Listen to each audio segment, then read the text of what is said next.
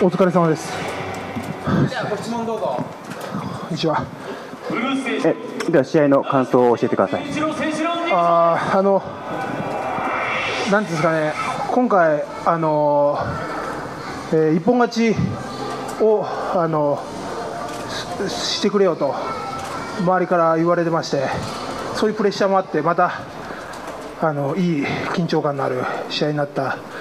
と思いますし、あのまあ、結構、まあ、打撃も見れたし、また自分の目標とする段階、目標とする人に近づけたかなと思います。目標とすることというのはどこになるんでしょうか？えー将来、アメリカ、日本で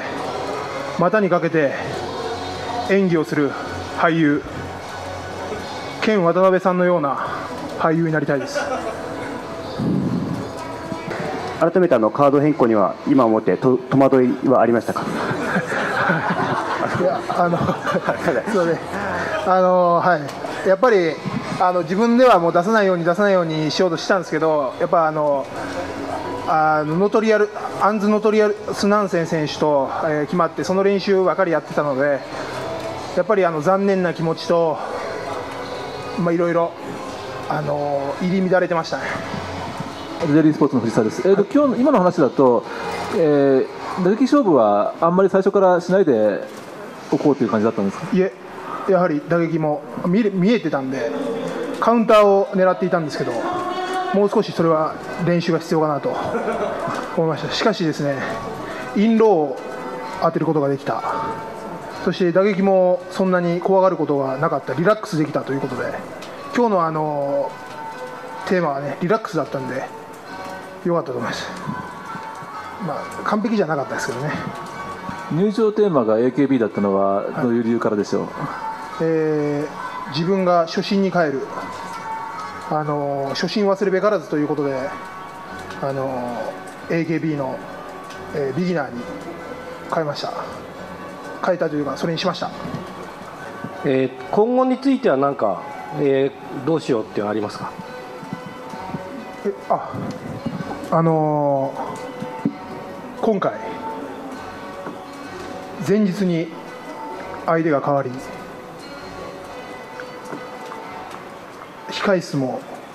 言った場所と違い私は非常に残念です、えー年末はアメリカの方に呼ばれているのであさっての便でアメリカに帰り練習を再開したいと思います。あすみません、日刊スポーツの藤永ですが、ということはあの、ダイナマイトは一応回避というか、出るつもりはないという気持ちなんですか？そうですね。今日昨日ですね。ああいうことがあって非常にがっかりしています。そして谷川プロデューサーに僕のこの髪型のことを馬鹿にされて傷ついております。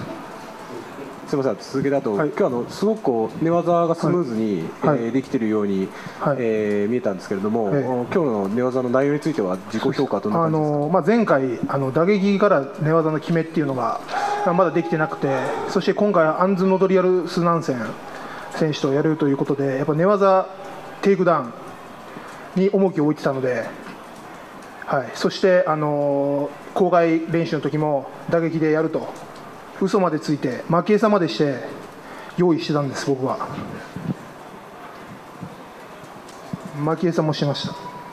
あの年末にアメリカに呼ばれたっていうのは、はい。試合という意味合いですか、試合です。どこの団体ですか、差し支えなければ。それは内緒です。いやりたい相手はいます。ティト・オーティス。ありがとうございました。また応援よろしくお願いします。